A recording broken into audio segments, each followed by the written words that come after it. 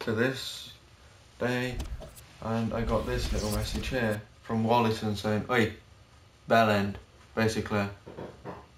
I no longer. He doesn't want to stay here, he wants to be transferred.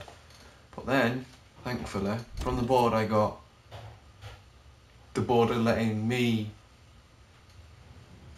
decide what happens to him. And now, let's go into the main thing that was going to show you last. So, but because this is a quick update one, this is what happened. Portugal have came with a transfer request. I'm going to reject it. No, I'm not. I'm going to stall it. No, I'm not. I'm going to accept because they've got Cristiano Ronaldo on the team. And I do like Cristiano fucking Ronaldo.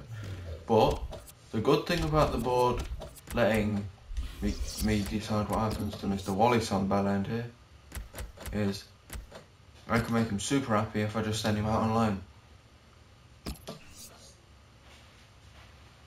So yeah. So thank you guys so much for watching and bye.